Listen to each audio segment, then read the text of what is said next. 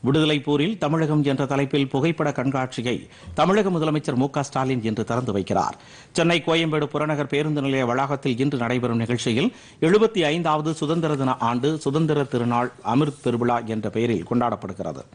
இதனையொட்டி செய்தி மக்கள் தொடர்பு துறையின் சார்பில் இந்திய விடுதலைக்காக பாடுபட்ட தேச தலைவர்களை போற்றி சிறப்பிக்கும் வகையில் விடுதலை போரில் தமிழகம் என்ற புகைப்பட கண்காட்சி அமைக்கப்பட்டுள்ளது.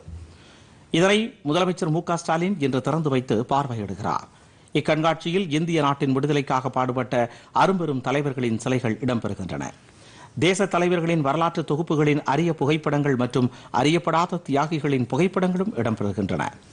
இன்று தொடங்கும் இந்த கண்காட்சி வரும் ஏழாம் தேதி ஞாயிற்றுக்கிழமை வரை நடைபெறுகிறது.